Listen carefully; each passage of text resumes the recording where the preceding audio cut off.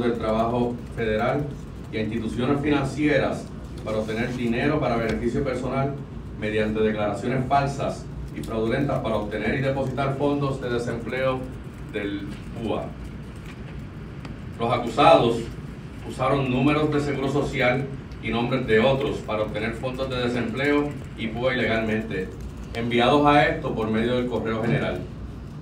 Luego, alteraban los cheques obtenidos para poner sus nombres en estos y depositarlos eh, en sus cuentas bancarias a través de métodos remotos.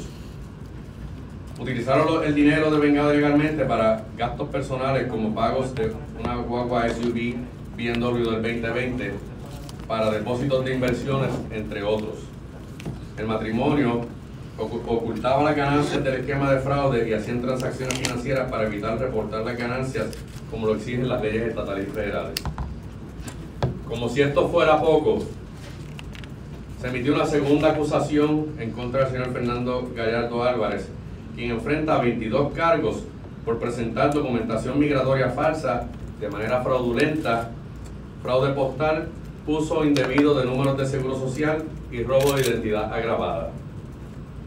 Desde el 2017 hasta agosto del 2021, el acusado Gallardo Álvarez, aprovechándose de la vulnerabilidad de inmigrantes en busca de ayuda para su estatus migratorio, se enriqueció injusta y ilegalmente y obtuvo dinero de individuos para preparar y presentar peticiones bajo la ley de violencia contra la mujer, conocida por sus siglas en inglés WA, disculpe, VAWA, ante los servicios de ciudadanía e inmigración de los Estados Unidos, que contenían información falsa utilizando el formulario I-360 y formularios adjuntos para exenciones de trabajo exenciones del pago de tarifas que conllevaban estas solicitudes. El formulario I-360 es utilizado por cónyuges, hijos y padres maltratados para presentar una petición de visa de inmigrante bajo la ley de inmigración nacional enmendada por la, por la VAWA. Gallardo Álvarez le mentía a las víctimas diciendo que era abogado y le cobró miles de dólares por servicios legales para ayudarlos a resolver su estatus migratorio. Gallardo Álvarez presentaba peticiones que contenían información falsa e incompleta sin el conocimiento y sin el consentimiento de los peticionarios. Durante el proceso de las peticiones bajo la VAWA, este tomaba aproximadamente un año y mientras las peticiones están en los procesos de ser adjudicadas, eh, la Oficina de Inmigración y Ciudadanía otorgaba autorizaciones de empleo que duraban un año. Muchos peticionarios al cabo del año, cuando vencían estas licencias, regresaban donde el acusado para pedirle sus servicios nuevamente para renovar los permisos del trabajo. Y Gallardo Álvarez volvía a cobrarles miles de dólares para llenarle fraudulentamente los formularios I-360 y solicitudes de inmigración necesarias. Los registros del USCIS sugieren que Gallardo Álvarez ha presentado al menos 136 solicitudes fraudulentas bajo la, la VAWA para más de 100 peticionarios en los últimos cuatro años. Los fiscales federales auxiliares Víctor Acevedo y Manuel Muñiz Lorenzi están a cargo del fraude eh, al PUA. De ser encontrados culpables, los acusados enfrentan hasta 30 años de prisión por fraude bancario, 20 años por fraude postal y electrónico y un periodo consecutivo de dos años de prisión por robo de identidad grabada, que a, instancias del juez puede ser consecutivo. Y es consecutivo a todas las demás penas, pero los cargos, si son más de uno, pueden ser consecutivos también. La Fiscalía, la Fiscal Federal Auxiliar Daniel Álvarez Lora y el Fiscal Federal Auxiliar Daniel Ollinghouse están a cargo del caso de fraude migratorio. Gallardo Álvarez también enfrenta hasta 20 años de prisión por fraude postal, hasta 10 años por uso indebido de visas, hasta 5 años por uso indebido de número de seguro social y una pena de prisión obligatoria de 2 años consecutivos por robo de identidad agravada en este caso también. Quiero agradecer a los fiscales supervisores Seth Irby, Miriam Fernández y Jennifer Hernández, junto a, la, junto a la fiscal especial de la Oficina del Inspector General del Seguro Social, Vanessa Bonano, quienes trabajaron en conjunto con los fiscales, fiscales a cargo del caso para llevar a cabo las acusaciones. También quiero agradecer a las siguientes agencias que colaboraron en estas investigaciones. HSI, Departamento del Trabajo Federal, Servicio de Inspección Postal de los Estados Unidos, Oficina de, Inspector General de la Administración del Seguro Social, el negociado de la Policía de Puerto Rico y el Departamento del Trabajo y Recursos Humanos. Si usted sospecha de fraude relacionado con el coronavirus, puede informarlo a través de, enlaces que se van a publicar eh, o llamando un hotline directo al 866-720-5721. Los acusados se presumen no culpables hasta que se le pruebe más allá de toda duda razonable. Esta investigación continúa y quiero llevar un mensaje si alguna persona en la ciudadanía ha tenido interacción con este individuo Fernando Gallardo o su pareja y, ha sido víctima de fraude, por favor infórmelo a las autoridades. Quiero llevar un mensaje bien claro.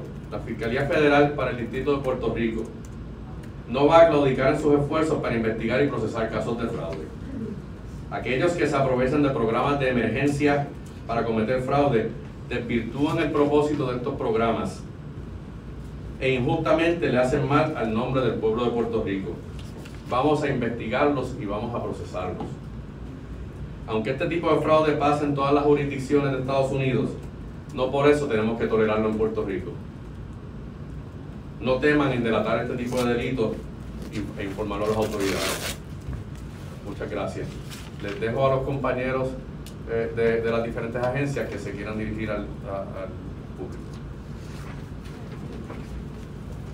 Buenos días, Rebeca González, directora auxiliar de HSI en Puerto Rico, en representación del agente especial a cargo Iván Arbero de HSI en la isla. En la mañana de hoy se llevó a cabo el arresto de Fernando Gallardo y Olga Rivera por múltiples violaciones federales relacionadas con el fraude de inmigración de los Estados Unidos. Esta investigación se llevó a cabo con el Servicio Postal de los Estados Unidos, la Oficina de Ciudadanía y Servicios de Inmigración, de Inmigración aquí en Puerto Rico, la Oficina del Inspector General del Seguro Social y el apoyo de las entidades estatales y el Departamento del Trabajo. La operación llamada Falsa Esperanza, en inglés False Hope, va dirigida a, a no solo proteger los procesos de inmigración, pero más importante, a proteger las víctimas que con años de sudor y esfuerzo entregaron su confianza y su dinero a Fernando Gallardo, con la esperanza de que éste resolviera el estatus migratorio de ellos. Como mencionó el fiscal, Fernando Gallardo se identificaba, se identificaba como abogado de inmigración y cobraba entre mil a seis mil dólares por asistir a individuos sin estatus migratorio en los Estados Unidos a conseguir beneficios migratorios lo que nunca logró. Gallardo sometió sobre 136 aplicaciones fraudulentas en la Oficina de Ciudadanía y Servicios de Inmigración. Las aplicaciones contenían información falsa de las víctimas y con esta aplicación las víctimas automáticamente recibían una tarjeta de empleo que les permitía trabajar en Estados Unidos por el periodo de un año. Luego de entregar las tarjetas de empleo, Gallardo se desaparecía y evadía a las víctimas. Esta investigación es el resultado del trabajo de equipo de múltiples agencias federales, con la asistencia del negociado de la Policía de Puerto Rico y la Policía Municipal de San Juan. La importancia de esta investigación es que la comunidad entienda que deben de asesorarse con las agencias pertinentes antes de confiar y de pagarle a cualquier individuo. Es nuestra responsabilidad como agencias de ley y orden el proteger a nuestra comunidad, no importando su estatus migratorio. El lucrarse financieramente a costa del sufrimiento de otros por medio de fraude no tiene lugar en nuestra isla. Fernando Gallardo no es abogado de inmigración. Y queremos hacer un llamado a la comunidad que ha sido víctima de Gallardo o de cualquier otro individuo que se comunique con nosotros sin temor a represalias migratorias. El teléfono para comunicarse con el Centro de Mando de Inmigración Aduana es el 787-729-6969.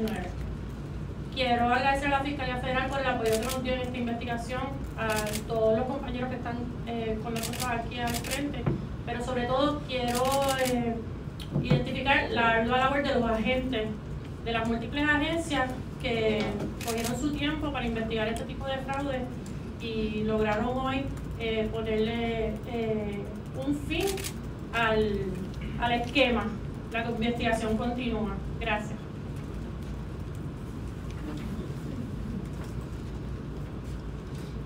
compañero Juan Vargas.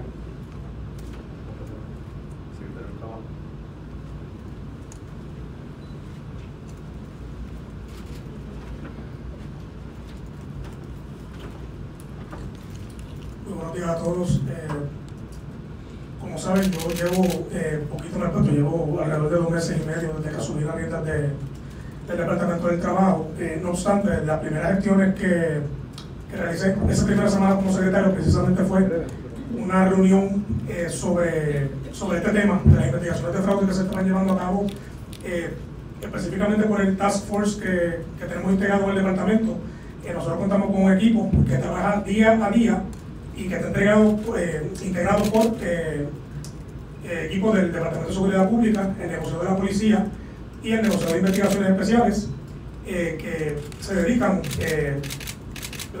entre otras- tareas, pero, pero casi exclusivamente a trabajar lo que tiene que ver con estas investigaciones de potencial fraude en el Departamento del Trabajo.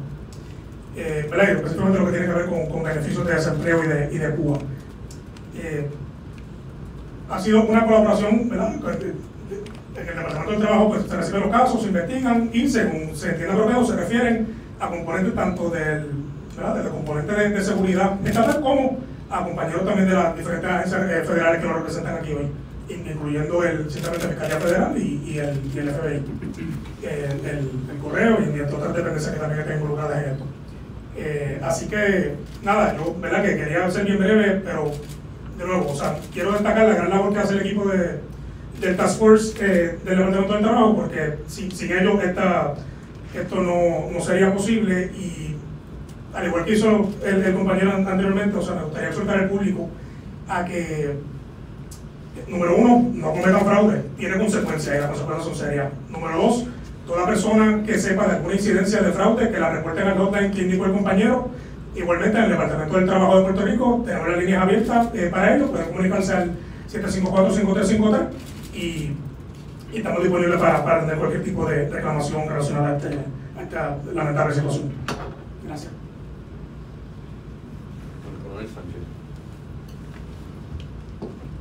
Buenos días a todas y todos.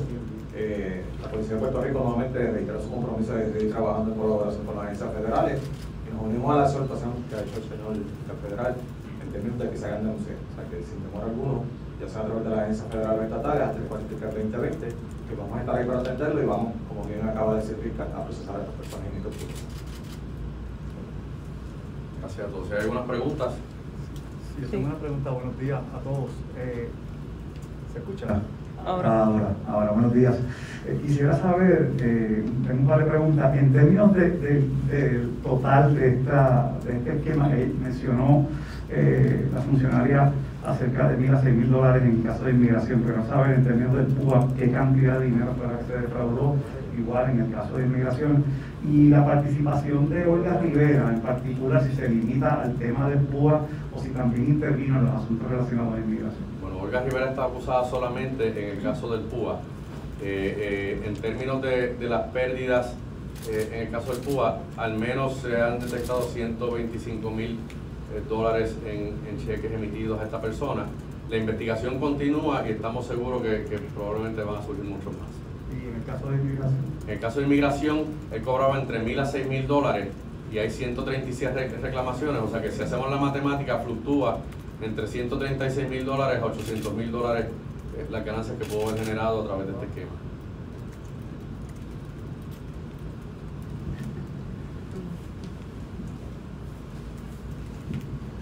Buenos días.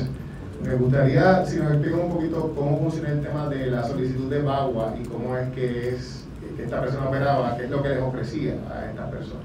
Muy bien, estas personas básicamente son inmigrantes que vienen a Puerto Rico a tratar de hacer una vida nueva en este país. Eh, quieren eh, retener su residencia permanente en Puerto Rico, obtener una residencia permanente para poder permanecer aquí trabajando y, y- y criando sus familias. Estas personas llamaban a Fernando Gallardo, quien se, eh, si- se representaba ser como un abogado de inmigración que podía ayudarlos. Estas personas no hablan inglés, los formularios estaban en inglés. Él les orientaba de que podía radicarles una solicitud para residencia permanente y lo que utilizaba era este formulario I-360 que tiene un propósito específico para inmigrantes que hayan sido objeto de abuso y violencia. Eh, él llenaba estas solicitudes eh, a, favor de estos inmigrantes sin que necesariamente hayan sido víctimas de abuso o violencia. Por lo tanto, lo que hacía era utilizar lo- los nombres y, y, e identificadores de estas personas, los llenaba en las solicitudes En la solicitud ponía entonces información falsa del supuesto agresor y de la supuesta condición de que es una persona agredida para propósitos de llenar la solicitud. Cuando el servicio de inmigración entonces, eh, eh, cuando esas solicitudes se llenan al servicio de inmigración, automáticamente él radicaba esto con un fee waiver, que, que es una forma para, para dispensar del pago que conllevan estas solicitudes ordinariamente eh, y mientras el trámite está bajo investigación, pues la agencia otorga el waiver como tal para, no, para el no pago de esto. Él no le representaba esto a las víctimas, él le cobraba ese dinero a las víctimas haciendo la representación de que era el pago por sus servicios y por lo que iba a cobrar la agencia. Luego de esto, la agencia emite eh, eh, un permiso de empleo en lo que estas solicitudes se consideran y se adjudican. Durante ese año, el Servicio de Inmigración está adjudicando estas peticiones y le está solicitando al señor Gallardo entonces información adicional para corroborar la veracidad de lo aseverado del estatus de víctima y del agresor como tal. El señor Gallardo evadía estas comunicaciones, no respondía y esto causaba que al fin del año pues la petición fuera denegada este, y, terminaba y culminaba al cabo de un año ese permiso especial para el trabajo.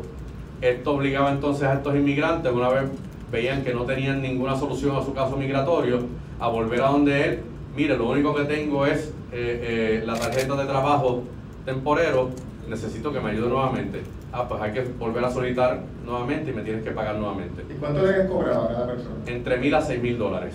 por cada caso. Por cada caso. ¿Y defraudó cuánta gente aproximadamente? Tenemos pues, eh, sobre 130 personas y sobre 136 solicitudes. ¿Estas personas sabían que se estaba sometiendo información ilegal? No, estas personas no sabían que se estaban sometiendo información incorrecta de ellos. ¿Este señor tenía previo a esta radicación algún expediente criminal o problemas previos con la justicia? Este señor tenía problemas previos con la justicia y tenía un historial de convicciones federales por fraude también. residente entonces. Sí. ¿La señora? La señora no. La señora, Buen día. Comentan que desde aproximadamente el 2017 fue que comenzaron a reportarse los casos de fraude. ¿Cuánto tiempo entonces tardaron las víctimas de este esquema en denunciarlo? ¿Cuándo fue que comienza aproximadamente la investigación? Pues eh, estas investigaciones toman tiempo, no le, no le puedo precisar ni, ni, voy a comentar sobre el, tiempo exacto que nos toma la investigación, pero, pero ciertamente fue un caso trabajado en equipo por todas las agencias eh, y al fin y al cabo pues llegamos a este individuo eh, y, va, a, enfrentar la ley.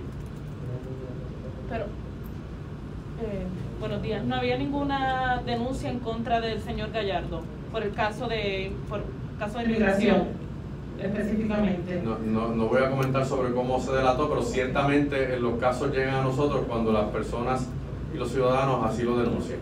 Sé que ya, ¿verdad? Han habido ya varias acusaciones por fraude al PUA. Eh, están investigando casos adicionales en mi pregunta y si hay un estimado global de a, cuánto asciende el fraude al PUA en este momento. De, casos presentados. este caso. No, en general. En, general, le, voy a pedir al, secretario de Trabajo que, que, nos hable sobre las cifras, si tiene algunas que informar en el día de hoy. Ciertamente los casos se siguen investigando, hay investigaciones y van a venir más investigaciones y exhortamos al público a que así los reporte aquel que se haya aprovechado de fondos de beneficencia pública para emergencia, los vamos a investigar y los vamos a procesar. Tengo una pregunta El secretario, si podría darle, disculpe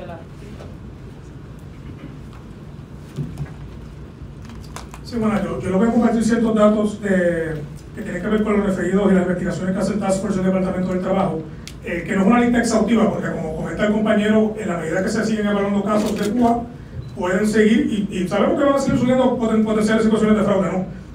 Eh, pero, ¿verdad? Para, para, que tengan una idea de, la labor que se ha hecho, eh, por ejemplo, el Task Force del Departamento de Trabajo ha referido al Departamento de Justicia unos 55 casos de servidores públicos, ¿verdad? De, municipales y, y estatales. Por ejemplo, también, se ha, en el, ya en el sector privado se han referido a la Policía de Puerto Rico unos 80 casos de fraude. Eh, se están investigando sobre 600 casos de potencial fraude también que tienen que ver con personas que están recluidas en instituciones carcelarias en Puerto Rico. Y hay, hay un, ¿verdad? un acuerdo colaborativo también con el Departamento de Corrección en cuanto a ello. Eh, también se, se, refieren eh, casos, pues, como, mencioné anteriormente, a las diferentes dependencias eh, del gobierno estatal y federal según vayan surgiendo. Eh, y así también se van identificando potenciales esquemas como el que se ha discutido en el día de hoy y, y se refiere, ¿no? O sea, pero es una labor continua. Así que lo, lo, lo que. Le, le, le, ofrezco ciertos datos para, para que tengan en mente cómo es que se mueve el proceso y, y, y que tengan una idea de, de, de, cuántos casos hay, pero lo cierto es que este número varía de tiempo en tiempo a la medida que van avanzando eh, las situaciones eh, con, lo, con, los diferentes casos, se van teniendo más casos de Cuba, surge el punto controvertible, eso levanta cierta bandera y dependiendo de lo que se encuentre y se investiga, se van refiriendo a los casos. En cuanto a términos económicos, ¿de cuánto asciende el fraude? En cuanto a dinero. Eh, esa cifra no la tengo exacta por lo mismo, ¿no? porque como es un número que va cambiando de tiempo en tiempo, y, y, va, y, va, a depender también de, de, de, cuántos casos ¿verdad? uno investiga, se refiere y dependiendo de lo que haga la, ya la, investigación más formal por parte de, del componente ¿verdad? fiscal eh, y, de la, y de las agencias de seguridad pública, pues va a depender cuáles de estos casos realmente son fraudes y cuáles son eh, tal vez un error por decirlo así, o, otras situaciones que se manejan más a nivel administrativo. Así, que eso, eso, eso, varía y hay muchas variables. Por, eso que el, el dato pues, eh, no, no, no, se lo puedo ofrecer con, con, esa certeza. Pero en términos de la Fiscalía Federal, ¿cuántos, eh, cuántos casos de, de, fraude, por lo menos en términos de, de ayudas por la pandemia, ha atendido la Fiscalía Federal, si tiene ese número?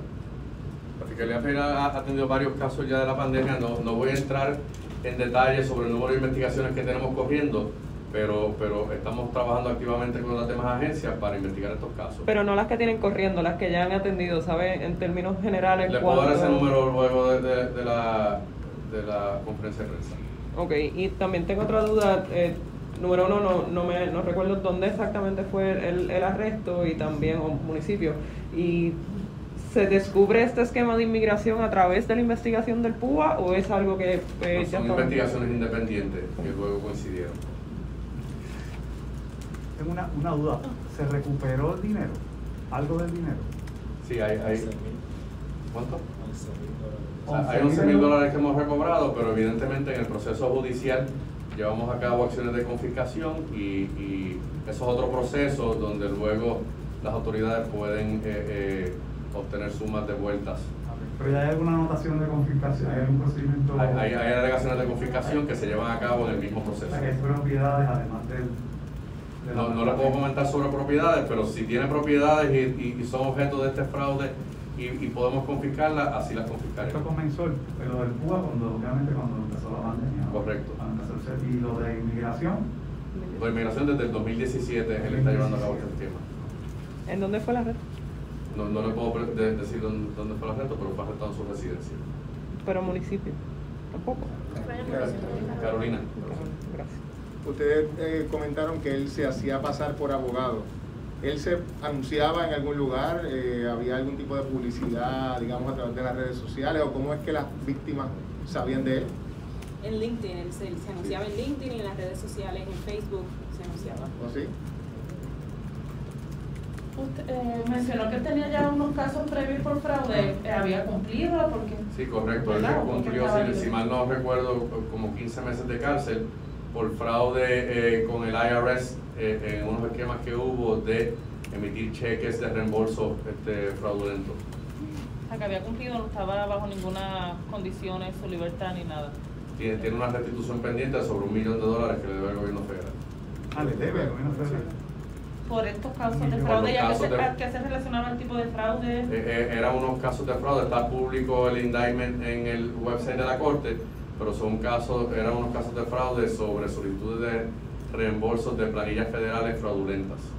¿Y él cumplió cárcel por eso? Él cumplió cárcel por eso. ¿Cuánto tiempo estuvo, si recuerdas? Si, si mal no recuerdo, como 15 meses de cárcel. ¿Involucraba también a inmigrantes o no? En aquel momento no les sé decir, pero eran clientes que, que él atendía como parte de, de, un asunto de contabilidad y, y tax preparing business. ¿Cuál es la, le iba a preguntar eso, ¿a qué se dedica? Exacto. Al fraude.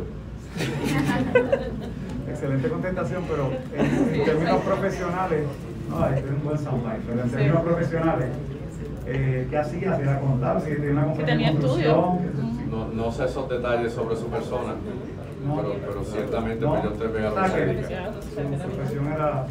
En efecto. Era muy ágil. Si no hay más preguntas, muchas gracias una a pregunta todos. para la persona de ahí. Permiso. Comentó ella lo de las redes sociales. ¿Es bajo alguna compañía o bajo su nombre propio que utilizaba? Él utilizaba su nombre y utilizaba una legada compañía a través de LinkedIn y de Facebook. ¿Cuál es el nombre de la compañía, si recuerdan? No recuerdo el nombre de la compañía. Gracias. Eh, de ICE. Eh, entiendo que ustedes hoy detuvieron a una persona que es o alega ser eh, un pastor en la región de Lares. Eh, ¿Tiene alguna información sobre eso? Bueno, la información que tenemos hasta el momento es que hubo una acusación de gran jurado eh, acusando al individuo de eh, tratar de inducir, coaccionar a un menor a, a llevar a cabo un acto sexual y hasta el momento se arrestó esta mañana y está en, comienza el proceso legal. ¿Puede dar alguna información de cómo fue el incidente? No sé si la voz de ella se está yendo por el micrófono. Ah, ok. Perdón, no escuché. No, que si, si puede dar algunos detalles adicionales, ¿qué, qué es lo que se alega? Claro, se alega que este individuo utilizó su posición privilegiada como pastor para inducir y seducir a un menor eh, con la intención de llevar a cabo un acto sexual. ¿Qué edad tenía el menor? ¿Qué edad tenía el menor?